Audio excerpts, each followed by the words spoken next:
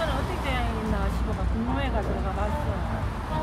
들어가 보니까 참 시원하더라고요. 시원하고 할머니들이 많이 오시더라고요.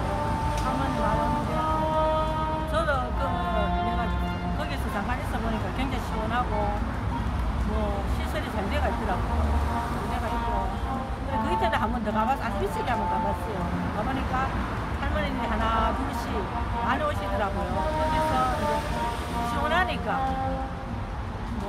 해다 좋고 오, 오후에 그래가 서너 시간 있다 저도 어, 오후 되니 할머니들 가시더라고.